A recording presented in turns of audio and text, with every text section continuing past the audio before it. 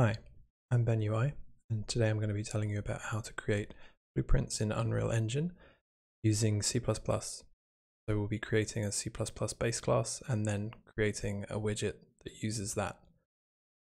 So to start off, what are we going to create today? So this sample will just be a random number generator widget. So the player will click on the get me another button um, and we'll show a random update the random number here and there'll be a random number shown on launch. It's just a test example that we can use to create to show how C++ works. Okay, so I've just created a sample base project here. Uh, there's no content there. It's a C++ project. So the first thing you want to do in your, your project is uh, create a new C++ class. So in our case, we want it to be a subclass of user widget. So we'll just call it RNG widget, short and simple. Unreal will warn us that we have to recompile our module before it will appear in the content browser. The simplest thing uh, is probably just to close Unreal and then we'll move to Visual Studio. I'm going to stop the current project. So in our solution manager, we can see the RNG widget uh, has been created, both the header and the CPP. So we'll just lay these out so we can see the CPP on one side and the header on another. Just bump the font size up so it's a bit easier to read. Okay, so if we go back to look at our example of what we're trying to create, we're going to need a a widget for the text and a widget for the button. So we'll start off by creating those in the header. So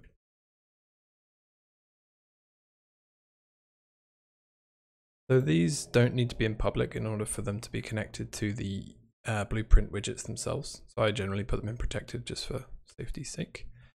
So we're going to need a u text block. Oops widget. Uh, we'll call that random number label. Uh, I'm going to forward declare that so we don't have to include the header for text block when Visual Studio wakes up. Um, so this is where the what the magic is. So we declare it as a u property property, and we need to mark it as meta equals bind widget. This means that if there is a widget, if there is a widget in our blueprint subclass uh, of type text block and with this exact name random number label, uh, the two will be connected. Basically, yeah, that's the magic. So going back to our example, let's save that. We're also going to need a button. So create another property. This time it's going to be button. And we'll call that generate button. So we are going to need a u function. Uh, we're going to need a function to be called when we click the button, but I'll go back to that when we get into our uh, CPP in a second. We're also going to need a function that we'll call to actually generate the random number. So let's just have a simple generate random function. Okay, so going to need to generate this random number when we are when the widget is first shown and then also when the player clicks the button. So in order for it to be uh, this function generate random to be called when we first create the widget, the simplest thing is to uh, do it in native construct. So I'm using Visual Assist X here. Uh, there's a useful uh, functionality called implement methods. So if we type in native we can see all of these native functions. So these are functions that are implemented, that are declared in uh, user widget. So these are also exposed in blueprints pretty often. Uh, so we want native construct, which has no parameters, so we could have just typed it out. Okay, so what we're going to want to do here is we're going to call our uh, generate random function there. This means it will be called once the widget is constructed. So if we fill out our generate random function, we're going to want to set the random number label. Whoops. Number label uh, to some random variable value that we've chosen. So I'll just pick a number between 0 and 100.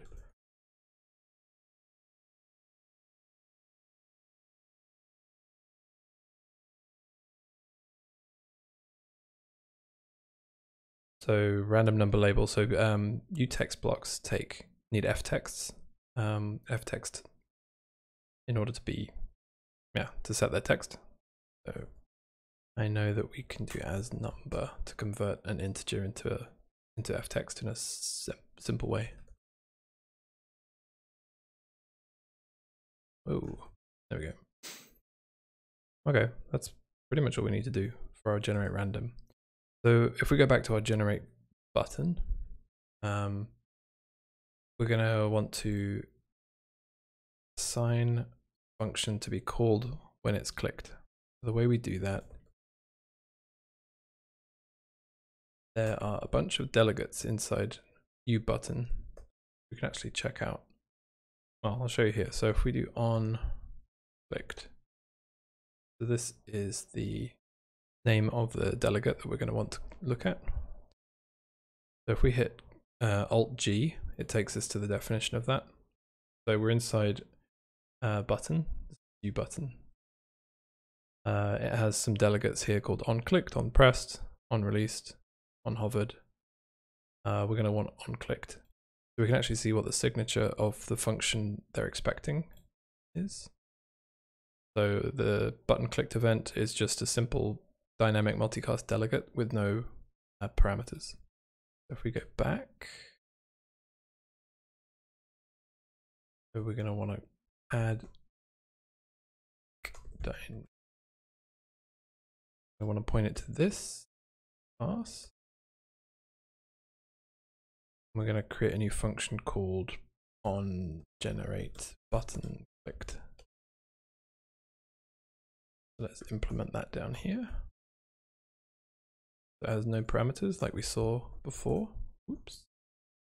And we'll just call generate random. And key thing is to also declare it here, but mark it as u function. So that was all a bit quick. Uh, we've basically told our button when on clicked is uh, called it's a, it's a delegate, so when it's broadcast, then call this instance's function on generate button clicked. And on generate button clicked is just calling generate random. I mean, we could have told it directly to call generate random, but in the interest of, of keeping things clear and explicit, this is the way we set it up.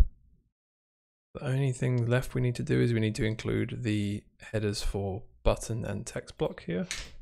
So the simplest way to do that is to hit add include and add include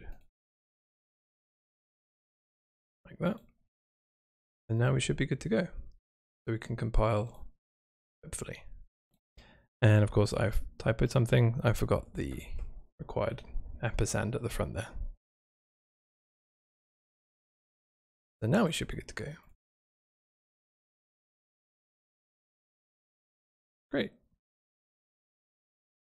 So now that we've implemented the C++, now we can create a blueprint subclass of that and implement our visual side. So Unreal started.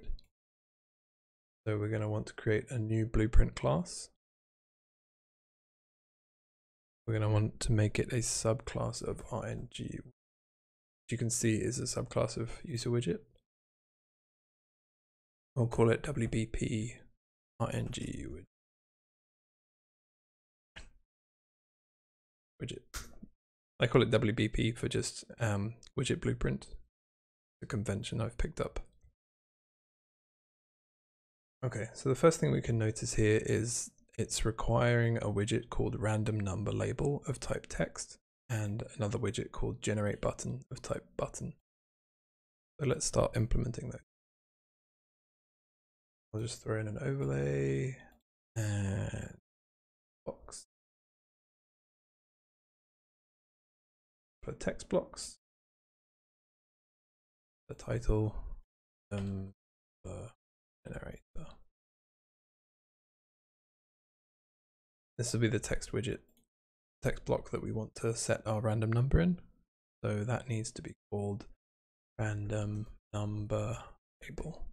So notice I'm naming them up the top here. So because it's a type text block and because of the name is name matches, um, it will be hooked up. So we also need a button. And put some text in there.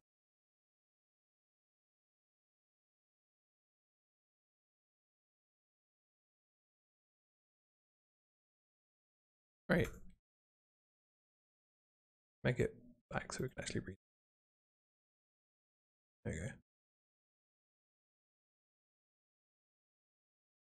So this is actually where our random number will go. So like that. And a fun mini tip is you can, oh wait, that's gone off the edge of the screen. Um, normally everything inside these text blocks will get um, picked up by the localization system.